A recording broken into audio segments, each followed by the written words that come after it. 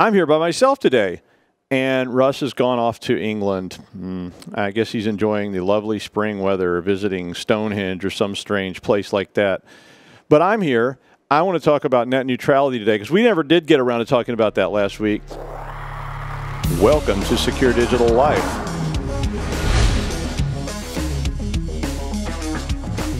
And you type in AAA porn or whatever it is you're typing in. I'm, so, I'm sorry, we, I was a PG show. And I'm really Yeah. excited to be here. I'm glad you're here because somebody needs to know what's going on. That's right. Okay, so now Now somebody has to drink this. It's another day. It's another episode. yeah, he's looking at the wrong camera. You, Oh, oh, you moved my, you put my camera over here. Eh, cut. Basically, forget you ever saw that. I, I think actually forgetting you ever saw that would really be a good idea at this point.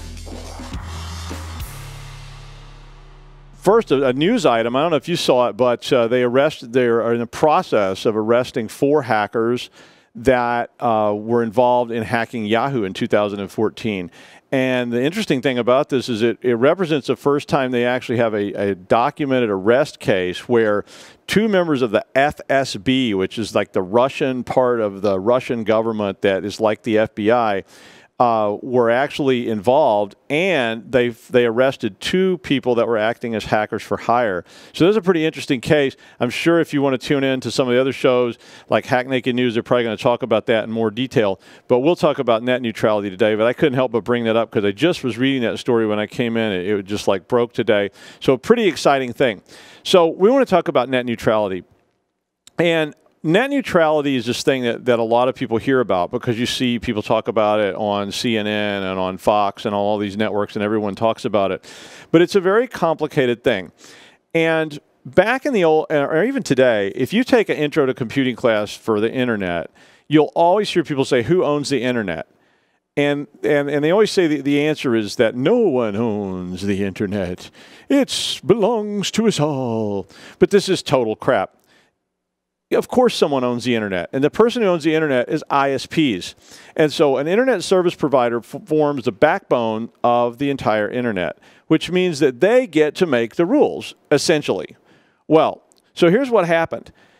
The net neutrality rules said that ISPs were subject to the same rules as telecommunications, which we'll call telcos, were subject to. That means phone companies. And that's been going on for a long time. And all the phone companies were originally subject to this thing like the Telecommunications Act of 1933, and then there was another one later in the 90s and so on. But one of the things that's critical to the Telco Acts was that everyone had to be provided with the same level of service for the same price. So that meant that that they couldn't single people out and downgrade their service because they didn't like the neighborhood or they couldn't single them out for whatever reason that they wanted to single them out. And the idea was that uh, telco was a public utility, so that it should be treated as such, and therefore it was managed that way. Well, today with net neutrality, ISPs can do all kinds of nasty tricks. Like, for instance, they can change your bandwidth. And you say, well, gee, Doug, that's okay. Why don't they just change my bandwidth? Well, they could, and it might be fair depending on what you pay. So if, if they're providing you with this level of bronze service versus double platinum service, then what happens is you may get different levels of bandwidth. And the bandwidth refers to how much upload speed and how much download speed that you actually have. And if you go on Google and you type check my internet speed, there's all kinds of websites that will tell you what your upload and your download speeds actually are. Now, for most users, those speeds vary a lot from day to day to day. And so what happens is the ISP can do what is called throttling. And they can choose to throttle certain connections based on who knows what criteria. But net neutrality says that if I pay for the gold plan and you pay for the gold plan, then we both get the same level of service. But that if those rules go away, they could say you're on the gold plan, he's on the gold plan, but we're going to use some other criteria to determine what level of bandwidth service you actually get. And that's a little bit scary to me. The other piece of net neutrality that worries a lot of people is that ISPs would be allowed, without net neutrality rules, to sell your data without your permission. So that means they could take your browsing, They could take your behavior online, they could model it, they could create marketing paradigms or whatever. Pick some fancy you know terms, holistic marketing paradigms, and put that together and use that to sell to say Amazon. And maybe you like that because that means you get ads for things that you want to see on Amazon. But it also means they could profile you and decide that maybe they're going to throttle your usage because you're not going to sites they like. They could throttle other people, like, say, Amazon, if Amazon doesn't do what they want. And all that adds up to some really scary kinds of stuff with these providers. So, what I did was during a blizzard, which was not is not happening now, but it didn't really happen at all. But during the blizzard, I made a video. I wanted to show you about some of this stuff to try to illustrate how this bandwidth and throttling actually takes place, and then we'll come back. Okay, so roll film. Thanks, Doug. This is Doug. So look, this is a cool picture I drew with Cisco Packet Tracer, which actually would let me set all this stuff up and see if it would actually work and all that. I'm just making a grossly oversimplified version of the internet to talk to you a little bit about what's going on with net neutrality in the sense of what they can do. Now, with net neutrality, they basically say that everyone, so that means me, who's a superstar, that guy who might be in a band, and pathetical you, are all basically getting the same level of service for the same price. So that means if, if, I, if I went out and bought the Platinum Fiber plan, and, and all of you did too, we should theoretically get the same level of service. That was what they applied to the telecommunications companies. So uh, way back when.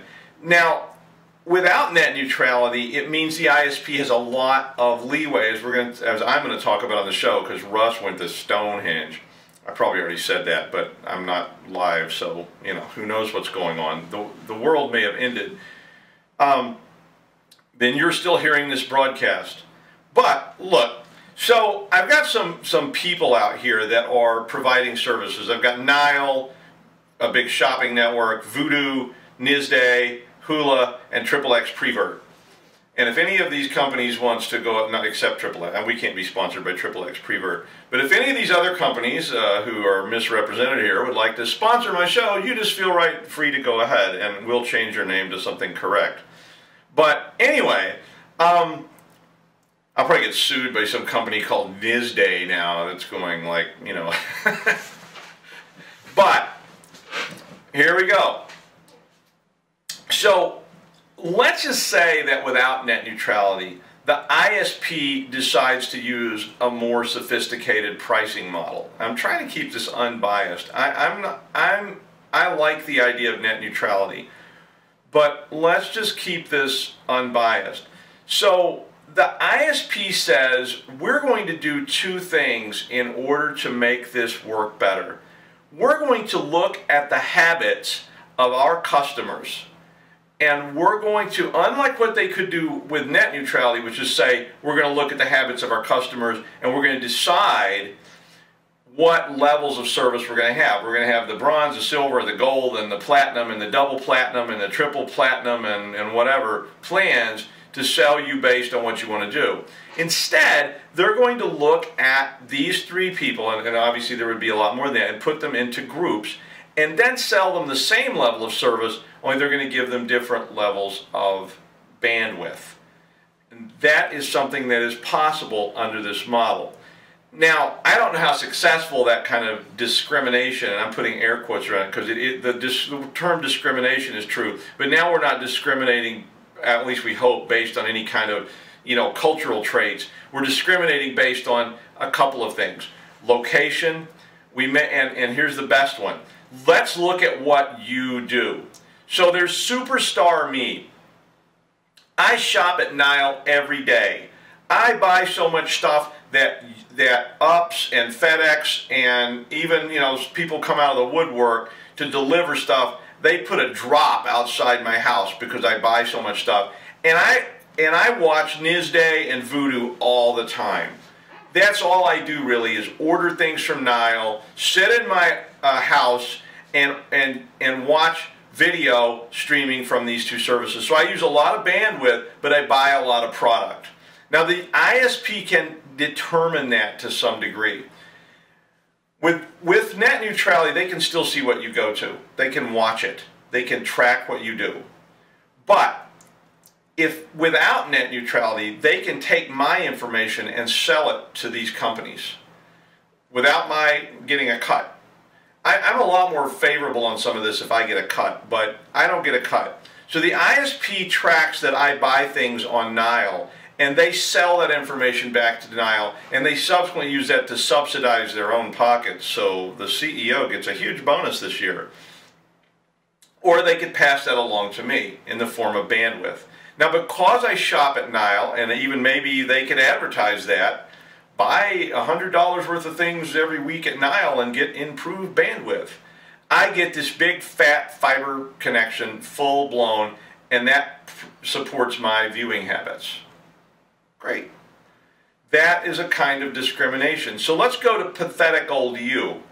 Now, you don't have as much money as I do, and primarily all you do is you go to Hula and you watch things for free. You don't even have a subscription to Hula. So you watch the free stuff on Hula, and that's about all you do. And occasionally you might go to Nile once in a while and buy like some ramen noodles or something because you don't have any money or whatever, and you're spending all your money on this pipe. Well, the ISP now with you is not getting as much money in revenue from Nile and Voodoo and Nizday and all these kind of people as they get from me. So they make a determination based on one, that they can't sell very much information about you because there just isn't very much.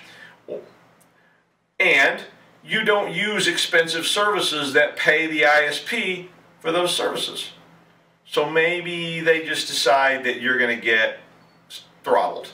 So they cut you back to around a 56K kind of connection. Let's do the guy who might be in a band. And these are people that lived in a building with me.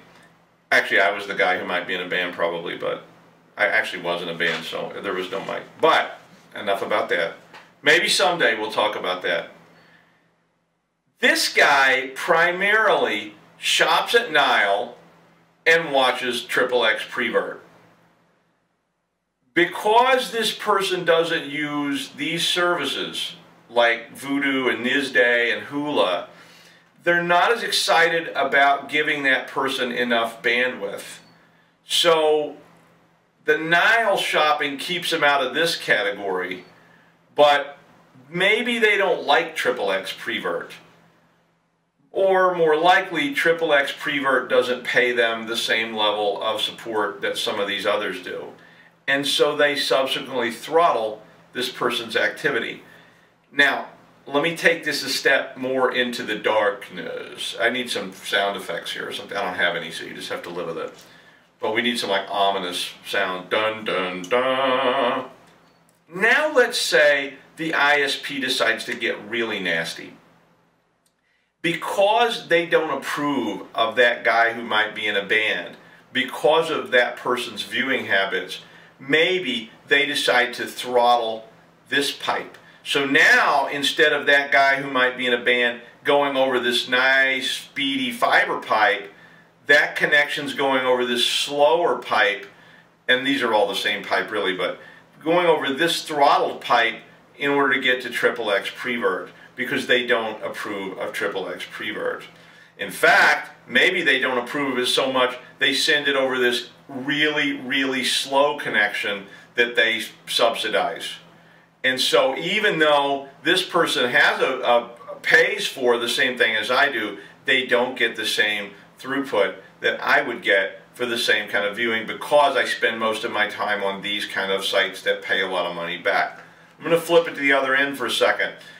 Mr. ISP, this is the big shot ISP. This is somebody really important. Mr. ISP also can then, without net neutrality, go to these clients and offer them different levels of service for the same product without even telling them. So they may give Nile a big pipe because Nile actually pays a lot of money in or supports them or does whatever. Voodoo, same thing. Nizday, the same thing. Hula and XXX Prevert don't pay those premiums, don't provide advertising revenue or whatever it is. I mean, I don't know what it is, but it could be all kinds of things. And it could even just be they don't like these two services. So the fact that they don't like them means they could throttle them down. I doubt they're going to do things like that because it's not very productive, but that's the kind of things that could be done. So just some concerns on that end to show it with a nice visual aid so that you could get a look at what this might look like. So big points. One, they can sell you the same levels of service but provide you different types of connectivity based on who knows what. They can also then provide different levels of connectivity through the internet even though you have the same levels of service. And they can track what you do and sell it to all these companies. So if Nile is paying for what they're selling, they give better throughput to Nile. If Hula decides they're not going to pay for that information, maybe they give them lousier throughput. If you think about it, they could even start working to put people out of business using that kind of model. So they say we don't like Hula, so they don't pay us for our what we're selling, so we're going to slowly throttle them to death. On the other hand, maybe Nile up here, whoa, we don't want to see that. That's nothing. It was nothing dramatic. Don't go back and freeze frame. It was just a configuration screen. And everybody's like, oh, but Nile buys all that inf information about the customers. So they give them the biggest, nicest pipe you can imagine. So that's just some quick uh, visual stuff there about it. We'll get back to the studio now. Back to you, Doug. Back to me on the other side. Thanks for watching that video. Thanks, Doug, for making that video this morning. Uh, and sharing it with us. I thought it would be helpful to see some how that kind of plays out. So big big points in net neutrality are that do you have any rights? And one of those issues then becomes, you know, maybe you don't.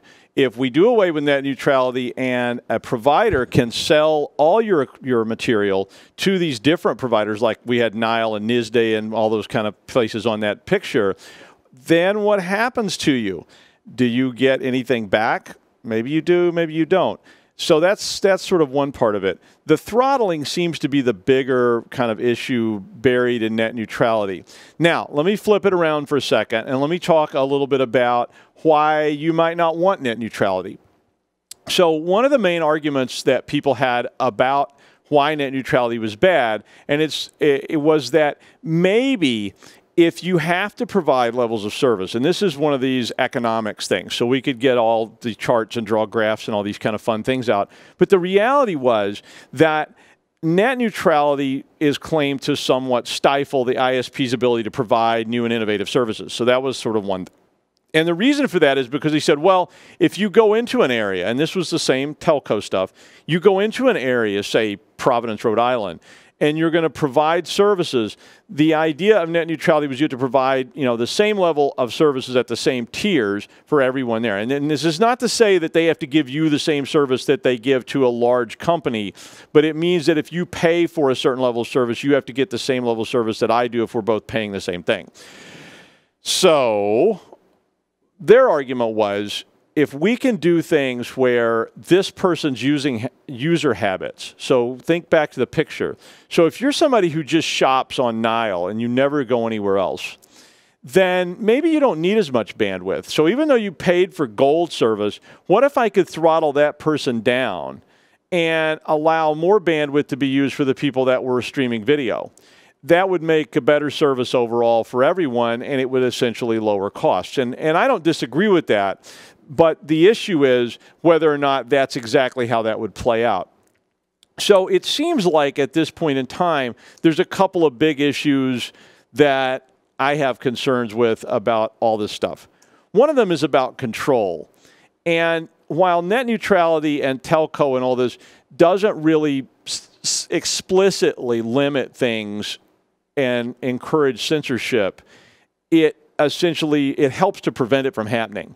I need Russ here to explain these nice things. I'm good with the tech stuff. But hey, he's not here, so we're, we're, we're lonely without you, Russ. But what if we start talking about who gets throttled? Because this was one of the key issues that happened with net neutrality was what if ISPs start making decisions. Like you heard me talking on the video about Triple X Prevert and Hula and the ISP not liking that. So, what if your ISP decides they don't approve of hate speech? I'll flip it around. So now instead of something that maybe you don't disapprove of either, like Triple X Prevert, what if they don't approve of hate speech? And they say, we're going to start throttling traffic, not to you, but to websites. So here's a website, I won't give it a name, that has a lot of hate speech on it. And they say, we're going to start throttling that. Maybe they can do that without net neutrality. They can simply throttle it back. They can use all kinds of reasoning. That's censorship to me. That violates the First Amendment to me. But at the same time, you're going, but this isn't necessarily free speech. It's about commercial interests. And uh, where are the lawyers when you need them? In fact, I, I think I hear them knocking on the door right now because they're going to haul me off from that NISDAY company that I made up. Um, so you may have questions like that that you want to ask yourself. Should hate sites be filtered? Maybe if that's true, then maybe net neutrality is not for you. My big issues with net neutrality are pretty straightforward. Um, I don't want them selling my data. I really don't like that idea. I don't do anything really interesting on the internet. I, I mean, I, I, all the time when I hear people go, "Oh, what about this? What about that?" I'm like, "Wow, I haven't seen that." I, you know, but I don't necessarily want a provider taking that and selling it and making money off of it. So that's the greedy part of me that says, you know, I really am entitled to some cut of that. Now, now the, again, so to defend the ISP, the ISP's argument is, well, you do get something for that because when we sell that information, we pass those savings along to you. I don't know that they necessarily do that, but that's what their claim is going to be. Same thing with the throttling. So they say, well, we're going to throttle you back because you don't ever stream video from Hula. And okay, we're going to pass those savings along to you in the form of more bandwidth for people that need it. We're going to lower costs. We're going to encourage innovation, et cetera, et cetera, et cetera. And all that sounds great. I just don't know if it's necessarily true. So there's some very serious and dire concerns in here. And I'm going to throw one more term out there to you and bring it up. And I, you know I'm going to say it. You aren't going to like it, but I'm going to say it anyway. What about fake news? Ooh. A popular term, and I'm not going to get into politics. I could. Oh, baby, could I get into politics? But I'm not going to. I'm not. I'm not. I'm not. I'm not. I'm not. But I'm going to say fake news. It's like the knights who say Ni. I'm going to say fake news to you. Um, he said it again. But what about fake news? What if, without net neutrality, ISPs, so pick one. I'm not going to name any names. They don't sponsor me either, so they don't get anything. But pick an ISP and say, what if that ISP decided they're going to come up with some kind of algorithm to decide what they think is fake news? And they decide that news site A and news site B are fakes. So they start throttling bandwidth to those sites and allowing more bandwidth to, say, some other site, C and D. Ooh. I mean, you, then you say, Doug, I'm going to open the big book of naive comments and go, companies never get involved in politics. Right. Keep thinking that. But I'm not going to either. I'm not. I'm not. I swear. So next week, based on all this, next week, I, I think Russ is going to come back if the Druids don't have him. I, have heard they do bad things to people, but uh, if the if the Druids got you, Russ, hey man, I, it's aloha. But next week we're going to talk about Tor. And Tor is a cool browser that allows you to start hiding some of your behavior on the internet. We're going to talk about how it works, how to install it. And so if you're interested in learning more about anonymous browsing and how that kind of thing works, be sure and tune in next week when hopefully Russ is back to entertain me and I can entertain him. Have a good one. Bye.